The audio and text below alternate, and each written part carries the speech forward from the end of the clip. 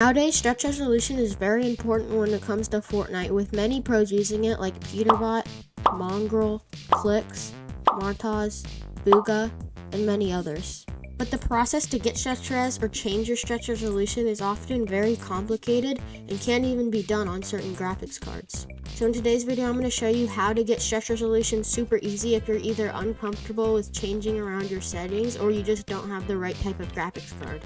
But before I get into showing you how to get stretch resolution, I'm going to talk about the sheer importance and all the advantages you get with stretch resolution.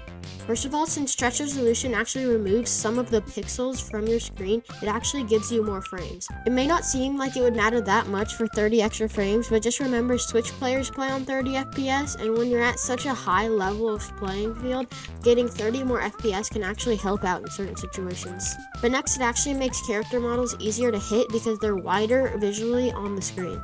And anyways, as you can see, the wall is much wider on stretched res than it is on a normal 1920 by 1080 resolution.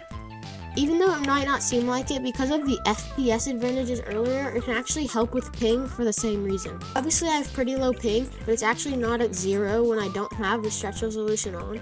And as you can see, now my ping is at zero with the stretch resolution on. For me, it obviously didn't make too much of a difference, but the higher ping you're at, the bigger of the difference it'll make. But with pros comes some cons. First of all, let's talk about the FOV issue. In OG Fortnite, you used to actually get more FOV with stretch resolution. Fortnite though decided to take this out because it was too overpowered and had too much of an advantage on console players and just PC players that didn't want to get stretch res. Now that it's out of the game, it only has one main con, which is actually that it takes away your FOV. But many people still believe that it's actually more useful to have it than not.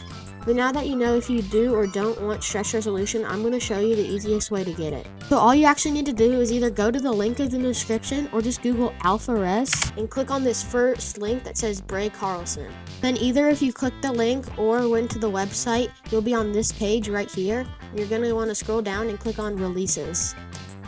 After that, you're just going to want to download this first link right here that says x64.exe and just save it to anywhere in your files. Then once you open up the application and it's actually on your desktop right here, what you want to do is just put in what stretch resolution you want. I'll pop some popular ones up on the screen right now so that you can just choose from those if you don't feel like researching it.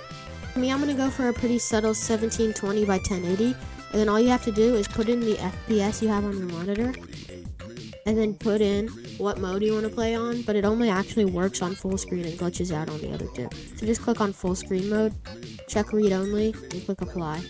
Now, the next time you open up Fortnite, it actually changed all the settings for you, and you'll already have stretched resolution. And then once you're back in game, you can actually see from the lobby it's already stretched res. Anyways, if this video was useful to you, like the video, and if you like my videos, make sure to subscribe.